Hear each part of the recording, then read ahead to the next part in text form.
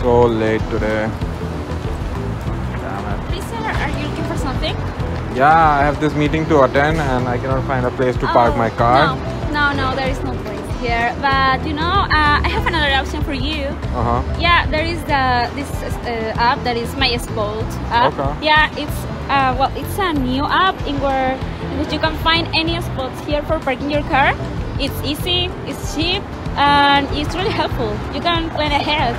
You know what? That's a great idea. Maybe yeah, I'll try that. Try it. It's Thank really you. helpful. I'm gonna run to my meeting. Bye. One of the biggest problems in Montreal city it is parking.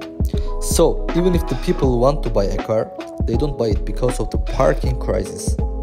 According to the study, Montreal is the most expensive Canadian city for parking.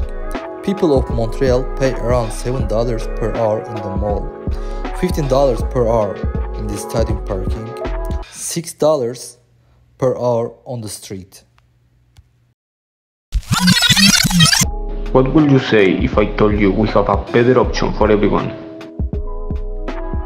We present to you MySpot, a new application idea that allows you to find a free space to park your car on the Montreal's street.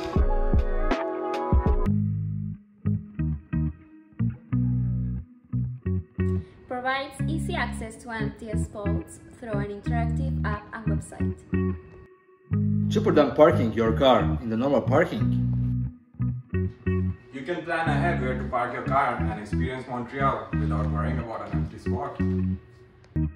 Also be the owner and earn extra income by renting your empty spot. So, do you want to be the owner or the customer?